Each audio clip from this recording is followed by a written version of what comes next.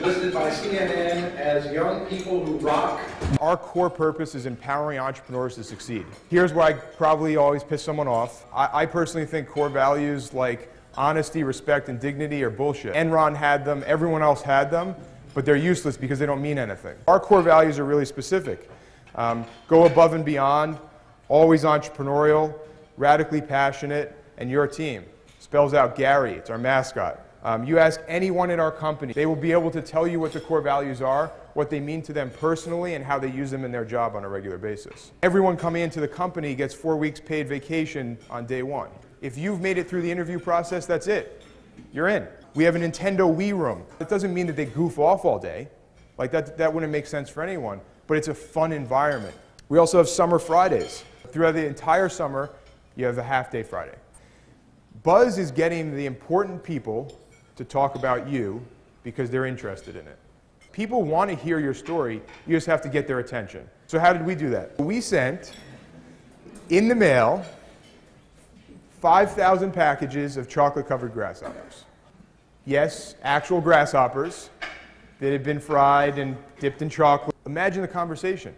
You get this in a newsroom where you get PR releases all day. You open this up and everyone's gathered around. What dumb company sent this to me? Who's going to eat this? But that started the conversation. And imagine if you're a blogger. You get stuff all day. You get lots of emails, but then you get this FedEx envelope, which you never get. Um, you open it up, and you're sitting at home by yourself. You're probably going to go tell your significant other, look at this dumb company who sent me something. Right? So at minimum, you've had one conversation just because you received this. We did not want sales from this. We wanted people talking about the name Grasshopper and getting the word out there about it because there are entrepreneurs everywhere. So who was on this list? We, had, we wanted 5,000 people. So my business partner and I sat down and we said, okay, 5,000 people, here we go. We'll, we'll start writing. Okay, those are the 10 people we know. Um, said, well, how do we really target the people who are out there talking? We know some of the famous entrepreneurs, so we sent it to Richard Branson, whoever else. And we took all the big popular business books, and we didn't send it to the authors. We sent it to the people who wrote the forwards and wrote the quotes on the back of the book.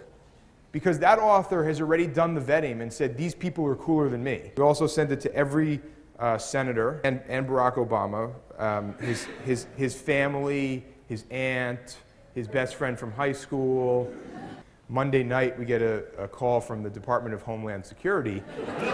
Um, so we got a lot of attention for this. Major news stations eating chocolate covered grasshoppers on the air. We didn't have to pay for any of it besides the costs here.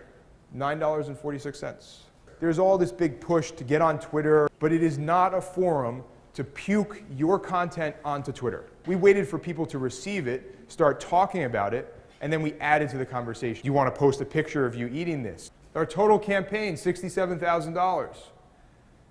And those are the metrics for May, for May. The one thing that I'm really passionate about is now is the time in the economy when there's more opportunity than ever.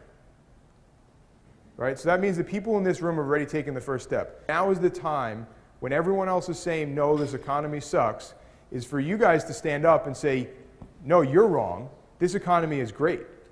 There is more opportunity now because everyone is not advertising. Everyone has pulled back their budgets. That means that we can buy Inc. magazine ads for a few thousand dollars, full page ads that used to cost hundreds of thousands of dollars. You can do the same thing in your industry. That's what it's about. My favorite is Fortune magazine, right? Started in the Great, Great Depression. It is literally porn for money right? And it started in the worst depression that we've seen. And it's super, super successful. They went out there and did something when everyone else said they can't do it. Has anyone seen this graph before? Re- recovery.org or .gov, whatever it is. Um, this is what um, our fine government put out when they said they're going to help the economy recover. What's missing? Because if they put it, that's how small it would be. When our president gets up there and says small business is the most important and this is how we're going to get out of the economy, they can't put this bubble up here. They would look like idiots. Everyone in this room should know these numbers. They're really easy. This is from the Kauffman Group. 44% of the payroll in the US is generated by small businesses. The percent of new jobs created in the past 15 years, 64% of them have come from small businesses. This is where our economy is going to recover. Is small businesses and entrepreneurs. I want everyone in this room to go out and generate the job they want and generate 10 other jobs for other people. And that's what turns Pensacola to a different type of place. Is creating those jobs that you want, staying here and continuing to grow.